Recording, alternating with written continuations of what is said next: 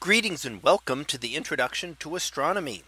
One of the things that I like to do in each of my introductory astronomy classes is to begin the class with the astronomy picture of the day from the NASA website that is apod.nasa.gov apod. And today's picture for July the 14th of 2021.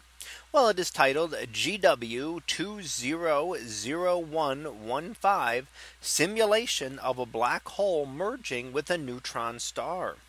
So this is a simulation of a gravitational wave event and the coding is the gravitational wave event is the GW followed by the date that it was detected. So this was detected on January the 15th of 2020 and it was detected by the LIGO and Virgo observatories, which are set up to look for gravitational waves.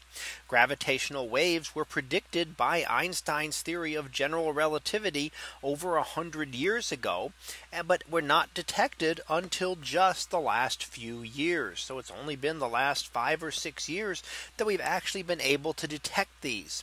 So LIGO and Virgo are two of the observatories that detect these gravitational waves waves.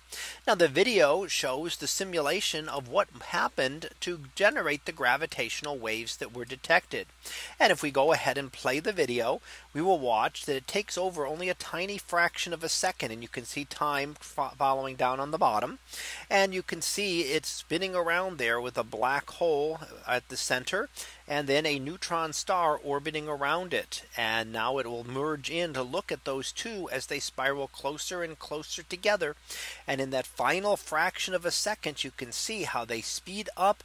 And then all of a sudden, the neutron star disappears, being absorbed into the black hole. So this is the kind of thing that happens. And this is what we need to see gravitational waves. Gravitational waves are produced by any moving objects with mass. However, it takes very strong gravity in order to get enough gravitational waves to be able to detect them.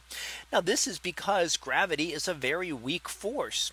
We may not realize that because we see gravity and are used to it every day and think of it as rather strong holding us here to Earth, keeping Earth in orbit around our sun, keeping the moon in orbit around Earth. But it's actually the weakest of the four forces of nature. And therefore the gravitational waves are correspondingly weak. But when you get very large, very massive objects spinning around and moving very fast together, as happens in the last say last few fractions of a second you can see that there we're down to it'll be down to just a, a few thousandths of a second as they merge together that is when we get the little ringing of the gravitational waves that a lot that we can finally are able to detect.